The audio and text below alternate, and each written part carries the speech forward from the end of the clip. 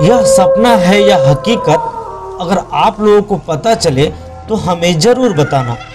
Bus stop पर खड़ी अकेली अंजलि को देर रात का सन्नाटा बेचैन कर रहा था।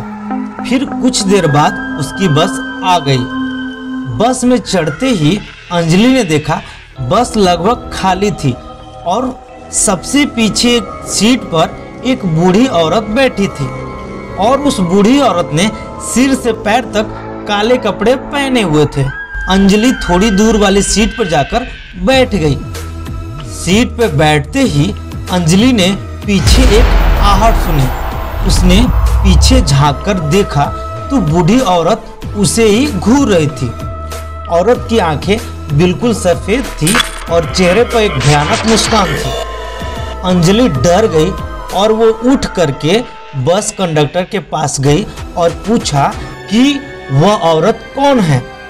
फिर कंडक्टर ने अजीब सा मुँह बनाते हुए कहा, इस बस में कोई औरत नहीं है बिटिया, पूरी बस खाली है, इस बस में सिर्फ़ तुम हो। अंजलि का दिल यह सुन करके धक धक करने लगा। उसने सोचा, शायद थकान की वजह से मुझे यह भ्रम हुआ होगा। वो अपने सीट पर वापस आकर बैठ गई। कुछ देर बाद अचानक पूरे बस में अजीब सी गंध यानी बदबू फैल गई, जैसे कि कोई चीज़ सड़ गई हो। अचानक अंजलि की नज़र सामने वाली सीट पर पड़ी। वहाँ एक काला कुत्ता बैठा हुआ था। उसकी लाल आँखें अंजलि को ही घूर रही थी। अंजलि डर के मारे चीखने ही वाली थी कि कुत्ते ने गुर्राने की आवाज़ निकाली और सीधे अंजलि की तरफ़ छपट पड़ा। बस में अंधेरा छा गया। अंजलि को बस यही याद रहा कि वो उठी तो पसीने से पूरी तरह से भीग चुकी थी और वो अब भी बस स्टॉप पर ही थी और सुबह हो चुकी थी।